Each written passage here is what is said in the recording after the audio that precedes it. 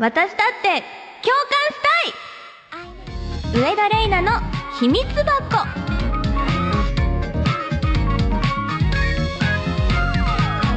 皆さん。はじめまして。こんにちは。あとなんだろう。久しぶり。こんばんは。いろいろあるかも。夜だもんね。21時30分から始まる。そろそろ。寝る？時間？かな？おやすみ？いろいろいろんな距離感の方がいらっしゃるでしょう。ここには。上田玲奈の秘密箱が始まってしまった。は あもうずっと嫌だ。嫌だ。始まりたくないって思ってたんですけど始まってしまいました。ねえどうしよう。何喋るんだろう。まあいろいろ喋っていくんでしょうけど。ああの私は声優の上田玲奈です。これちゃんと言っとかないとね。そうなんです。声優として活動しています。上田玲奈と言います。初めましての方もいらっしゃると思いますけど。まあなんかその私が声優としてどういうことをしているとかそもそも声優とは何ぞやとか上田玲奈ってどういう人なんだろうみたいなことはこのラジオの中で多分話していくと思うのであのまあ作業しながらとかなんとなく聞いてもらえるラジオになったらなと思います。上田玲奈の秘密箱。秘密箱ってなんで秘密箱なんだろうってずっと思ってたんですけどあの秘密箱っていうもう実際のものがあるんですよね。こう宝箱的な感じで鍵がなかった時代にこうちょっとからくり的な細工をして箱を作って宝物を守ろうっていう風に作られた箱があると。漢字で調べるとあのいろいろ画像とかも出てくるんですけどその秘密箱っていうものにちなんで上田玲奈の秘密箱っていうタイトルになったんですけど私も自分自身でこういう感情あったんだなとか今更ながら気づくことっていっぱいあって自分のことって意外とわかんないもんなんですよね。誰かに言われて気づいたりとかこう何か失敗して気づいたりとかいっぱいあるんですけどなんかそういう自分の中にある宝物みたいなものがキラキラしてるのかドロドロしてるのかわかんないですけど見つかってこう掘り起こしていってアウトプットできるみたいなことがあったらこのラジオをすごくなんだろう私も好きになれるかななんて思いながらちょっと挑んでます。その上でこう掘り起こして出てきたものがこう皆さんと共感できるものだったりしたらよりハッピーだなって思ってたりするんですよね。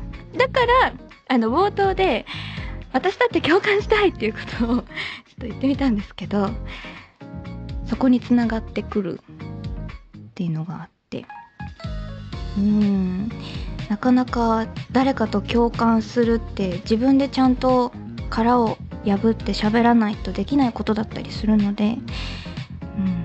頑張りたいなって思います。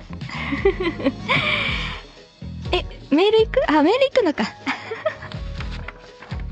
じゃあ皆さんからいただいてるメールを紹介します。ラジオネームメントスを広めんとするもの。最高。最高。えー、ありがとうございます。上島冠番組のスタートおめでとうございます。ありがとうございます。世の中はとても大変な時期ではありますがそんな今だからこそこの番組が開始することには何か意味があるんじゃないかなと思ってしまいますね。上田玲奈さんの声で一人でも多くの人が楽しく元気に明日も頑張れるようなラジオになることを願っています。そして10年100年と続いていくようなラジオになるよう心から応援しています。熱い思いを送ってくださる。ありがとうございます。100年続けられるかはわからないけど。今26だから126歳まで生きるってことですよね。どうでしょうね。でも最近の科学は進歩してるからいけるかもしれない。え無理ですか？なんで？なんで？可能性は無限大ですよ。ねえ、100年続けられるように頑張るのかな？頑張ろう。す ぐ心くだけど。はい。ということで、えー、始めていきたいと思います。上田玲奈の秘密箱。皆さん興味があれば少しだけ覗いていってください。この番組は、ランティスの提供でお送りします。ではここで早速、一曲お届けするんですって。ああ、ほっとする。喋らなくていいんでしょダメダメ。えー、現在発売中のアルバムエンパシーより、上田玲奈で、アイオライト。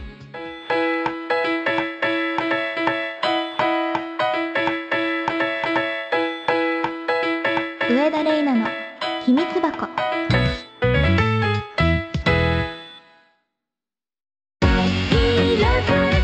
上田玲奈です。ニューアルバムエンパシーが現在発売中。皆さんもう手に取っていただけましたか？楽曲からブックレットまでこだわって作りました。少しでもエンパシー共感できる部分を見つけていただけたら嬉しいです。ランティス。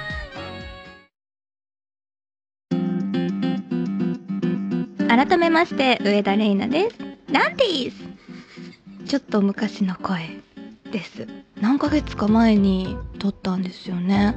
あのいつもレコーディングするスタジオでなんかちょっとこう離れるだけで3ヶ月とか4ヶ月とか経つだけであの頃の声若かったなーっていう気になるのが不思議なんですよね、まあ、そもそも自分の声ってこんな声してたっけみたいなところありますけどちょっとムズムズしながら CM 聞いてました。そして CM でもあのさっきお聴きいただいた「アイオライト」これあの角度を変えると嫌だなって思ってることも実はいいところが見えてくるみたいな曲なんですよ。オープニングであれだけ嫌だ嫌だって感じでしたけどね嫌だなって思うこと苦手だなって思うこともちゃんと角度を変えて見なきゃなって自分の歌で思い知らされました。耳が痛い本当に。頑張らなきゃね。頑張って喋っていきますよ。はい。ということで、着々と進んでいます。秘密箱。あと何話します？わかります？この感じ。わかる？助けて誰か。ああ、今回、ラジオのお話をいただいたわけなんですが、最初にね、いただいた時は、何を言ってるんだと思いました。私が一体何を喋れることがあるんだってすごい不安に思いましたし怖かったし悩みました。どうしたらいいんだろうって。今もそれ。始まってるけど今もまだ行方不明の状態で走ってるっていう感じですね。以前あのエジソンのフロート番組やらせていただいてあの時の3倍ぐらいの時間があるんですよね今回。30分番組っていうことで。30分、まあ、何を喋ろうか悩みつつではあるんですけどそのまあね嫌だ嫌だって思ってやってきた音楽活動もこうなんだかんだ楽しい思い出がどんどん増えていっていい思い出がどんどんこう上書きされていってっていう経験があるのでどうなるかわかんないですけど30分頑張ります。っていうあの台本にあえてポジティブなことを言うとするならっていう質問があったんで言ってみました。どうですか？楽しい？楽しい？え私が？私はどうだろう？なんかみんなのこう笑顔が感じ取れるようになれれば楽しいと思う。だからみんな笑って。みんな笑って。ありがとう。はいそんな感じです。まああのこれの前の番組がトライセールさんがやられてるってことなんであのトライセールの3人とはいろんなところで共演させてもらってますけれども一番ね皆さんがピンとくるのはアイドルマスターだったりするのかな？アイドルマスターが好きな方高坂海ちゃんが好きな方も聞いてくださってるのかな？あとはそのアイマスに限らずいろんな、まあ、最近だとダーウィンズゲーム。恋するアステロイド。最近やってましたね。もう終わっちゃったんですけど。うんっていうのだったりとか。いろんな作品を見て私を知ってくださった方もいると思います。声優としてできること何かしていけたらいいですね。ここで。ってふと思いました。なんか初めましての方もいらっしゃると思うんですけど作品を見てキャラクターが好きでっていう方もいらっしゃいますもんね。そっか。大事にしなきゃですね。そのなんか今の気持ち。嬉しい。あ今喋っててラジオ始まって今嬉しいこと1個。出てきた。1個だけ。出てきた出てきた。ありがとうございます。そっか。頑張ります。じゃあメールもたくさんいただいてるので紹介していきます。ラジオネームかまぼこ屋さんからいただきました。ありがとうございます。レイナさんこんばんは。こんばんは。単独でのラジオ開始おめでとうございます。ありがとうございます。たくさんあるレイナさんの出演作品についていろいろ聞ける場が欲しかったのでとても嬉しいです。さてこのラジオが始まるにあたり約3年半前にやっていた単独ラジオ。ラジオリフレインレターオブ R を聞き直してみました。すると今と全然声のトーンが違うことにとても驚きました。この3年半で随分と大人になったんだなとしみじみ感じました。レイナさん自身はここ数年で大人になったと感じることや声の出し方で変わったことなどありますか？では今後の放送も楽しみにしています。うーん。ありがとうございます。そう約3年半前なんですね。声のトーンは全然違うことでしょう。でも何でしょうね。ちょっとあの頃よりもうーん素直になれてるのかもしれない。えそんなことないって顔してる？本当に？誰も私の素顔を知らない？秘密箱っていうくらいだからね。いやいやいやちゃんと3年半前よりは変に頑張らなくなった感じはあるかも。こう今も頑張ろうって思って空回りすることはいっぱいあるんですけどあの頃はより人の目を気にして自分の素直な気持ちっていうよりもあのここでこうした方がみんな喜ぶのかなっていうので行動してた感じ。それは決して悪いことではないんじゃないかって今では思うんですけどでもあの頃の自分はちょっとストッパーをかけてたなっていうふうにも思う。からその気持ちの違いが声に出てるのかもしれないなって。こう年齢とか経験とかそういうのを重ねていくうちになんだろうな。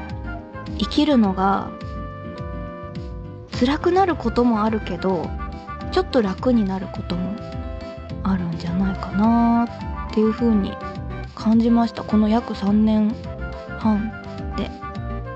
だから今喋ってるのはその何喋ったらいいんだろうっていう不安はもちろんあるけどうーん昔ほどこう装備を増やしてない感じがするから楽かもしれない。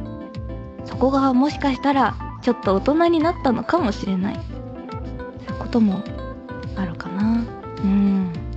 さあそしてラジオネームひろまるさんからもいただきました。ありがとうございます。上田さんこんばんは。こんばんは。そして新番組開始おめでとうございます。ありがとうございます。えタイトルが上田玲奈の秘密箱ということで。上田さんの秘密がたくさん詰まったような番組になるのではないかなと放送前からワクワクしているのですがご本人的にどんな番組にしたい？やリスナーの皆さんへの要望や聞いてほしいポイントなどがあればぜひ教えてほしいです。うーん。そうですね。でもそのオープニングが始まる前の今日の一言で言った私だって共感したいっていうのが一番大きいかもしれない。こうラジオでお話しするって私の中ではすごくハードルが高いことなんですけど。というのも皆さんの顔が見えづらいからちゃんと集中すればちゃんと皆さんと会話できると思うんですけどその景色がまだ見えない段階なんですよね私は。本当に生まれたてほやほやっていう感じなのでうんもっと皆さんの顔が見えるように喋りたい。ちゃんと会話したい。それで共感できたら嬉しいって言ったらね泣いちゃうんです私。不思議でしょ？あのこうやって思いを本当のこと言おうとすると私涙が出てくるんですよ。え本当に？いや一番聞いてる皆さんがびっくりしてますよね。ここで？みたいな。こんなとこで泣く？私もびっくりしてる今。何これ？ずっと不安だったんでしょうね未知の世界で。でも私が喋れることってなんだろうって考えながらみんなと会話したいっていうテーマを掲げて頑張ってるんだろうな。なぜ涙が出るのか。誰か教えてください。マジで本当にポロポロこぼれてくる。何これ。えー、なんか最近感情の仕組みっていう本を買ったんですよ。あの本屋さんに行ってあの私本全然読まなくって苦手なんですけど一回本屋さんに行ってタイトルをざっと見てみようって思思い立ったことがあってというのもあの普段ストッパーをかけてる感情とかってあると思うんですけどその上で潜在的に持ってるものってみんなあると思うんですよ私の中ではね。その潜在的に持ってるものをこうこう無視する力が人は強いんじゃないかとも思うんですだからこう気づかずに日々過ごしているんですけどその潜在的に持ってるこれがしたいあれが欲しいみたいなのを本のタイトルをざっと見た時に引っかかるものを見つけられればあそれがその潜在的なものかもって気づけるんじゃないかって思って行ってみたんですよ。ちょっと説明下手ですけどそんな気持ちで行ったら感情の仕組みっていうのがパッて浮かんであこれだと思って買ってみてなんかそうすると感情には必ず理由があってこう怒りとか悲しみとか出てくる仕組みがあるんだって。だからそれをねあの言語化できるようになりたいなって私は思ったんです。今がその時なんですよ。なぜ泣いてしまうのか。なぜこんなにも心が動くのか。本音を喋ることで涙が出るってどういう仕組みなんだろうっていうのを今言いたいだけど言えない。涙しか出ない。悔しい。何これ。何これ。この30分間で一体何が起こっているの？私に。えー、そんな。何の話をしてたかも忘れちゃいましたけど、えー、そんなあテーマを掲げて これから頑張っていくので、えー、感情の仕組みを理解しちゃんと言語化してお伝えできるように、えー、頑張ります。そのためには皆さんその感情の仕組みを教えてください。どうかお便りお待ちしております。はあありがとうございます。えー、さあ帰る？帰んない。まだ帰んない。えー、これからも私への疑問、質問、世間話、何でもいいのでどんどん送ってください。お待ちしてます。では、ここで一曲聴いてもらいましょう。嫌で泣いてるわけじゃないんですよ。なんかわかんないけど感動して泣いてます。8年目なのに 私芸歴8年目なのにもうすぐ10年を迎えようとしているというのに初回放送で涙を流すっていう新人割の ピュアさを持って お届けしてます。えー、お届けしてます。えー、えー、いろいろコーナーもあったんです。この番組。大事なコーナーもあったんですけど、そんなコーナーをやっている時間もないまま、最後の曲をお届けしようと思います。この曲は、あのー、なんだろうな、悶々と悩んで、あ、でも、ちゃんと踏み出さなきゃ、一歩前に出なきゃ、殻を破らなきゃって、破った後の世界が、思ったよりも、なんかあったかかったなっていう、生まれたてほやほやっていう曲なんです。今、本当に、今聴きたい曲。私が心を持ち直す間、一緒にこの曲を聴いてください。えー、エンパシーから上田玲奈で、黄緑。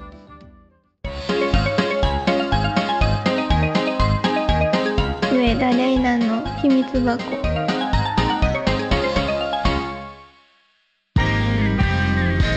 お送りしてきました上田玲奈の秘密箱初回も間もなくお別れのお時間となりましたちょっとホッとしている自分がいる。でも嫌なホッとじゃなくて終わった！でも達成感感じるにはお粗末でしたよね。うん。全力でうなずいてる。一番近くにいる作家さんが全力でうなずいてる。きっと聞いてる人は「うんうんそんなことないよ」って優しく迎え入れてくれた人もいただろうに。一番の身内が「うん収まってた」これから成長するから、私絶対成長する。8年目だけどまだ伸びしろあるって信じてるから。頼みます。次回もついてきてください。えー、この番組では皆さんからのメールを募集しています。どんなことでもいいので、ぜひ番組宛てにメールしてください。メールアドレスは、秘密アット .joqr.net。綴りは、himi 数字の2で秘密。秘密アット .joqr.net です。ことで初回が終わろうとしています。うん。ということで、お知らせ。えー、アルバムエンパシー。3月18日にリリースしました。発売中でございます。今日もたくさん曲をかけさせていただきました。あのー、2016年に出したリフレインは自己紹介の曲っていうことで自分一人で完結するアルバムを作ったんですけどそこから約3年を経てあの私の中でも心境の変化があってうんちょっとこう外の世界に足を踏み入れた感じのアルバムになっています。こんなメールが届いています。えー、上田玲奈様お世話になっております。冠ラジオ番組大変おめでとうございます。チームみんなでこの日を待ちわびておりました？チームみんなで？上田さんに一つお願いがあります。私のことはボスではなくキャプテンと呼んでください。あ、やばい。ボスだとちょっと高圧的な印象があるので、もっとラフにキャプテンと呼んでいただけると嬉しいです。これからも一緒に音楽を作り続けましょう。引き続き何卒よろしくお願いいたします。ボスより最後にボスって言うんですね、自分で。言ってんじゃん。かわいい。かわいいよ。あのいろんなね、あの番組にゲスト出演という形で出させていただいて、あの、アルバムエンパシーの告知だったりをさせていただいたんですけど、その時に、あの、うちのチーム、制作チームのこともお話しさせてもらうことが多かったんですね。えー、うちのチームの中には、あのー、いろんな方がいますよっていう中に、ボスのことを挙げたことがあります。現場のボスっていう言い方をしました。正確には、あの、現場で、まあ、歌のディレクションをしてくれる。一緒に歌取りを、あのー、まあ、やってくれるディレクターさんなんですけど、我々の中では、そのディレクターさんが一番こうなんだろうな。うーんやっぱ正確な言葉がボスなんですよね。ボスから想像できること全部網羅するような方なんですけどあのー、ボスはちょっと高圧的あんまりよろしくないという。まあそりゃそうですよね。女の子に対してボスはちょっといけないですね。キャプテン。これからは。女ボス。あ あいいな。言いたいな。女ボスって言い。たい番長でもいい。やばいやばい。怒られる。絶対聞いてくれてるもん。うちの女ボスは。絶対聞いてくれてる。いやめちゃくちゃ可愛い人なんです。ギャップのあるピュアな女性なんですけど。あのー、ついボスと呼んでしまいます。これからもよろしくお願いしますボスということでえー、多分放送される頃には番組ツイッターも動いているようですのでぜひ、シャープ、秘密箱、ひらがなでね、秘密箱でつぶやいてください。よろしくお願いします。はい、ということで、また次回お会いしましょう。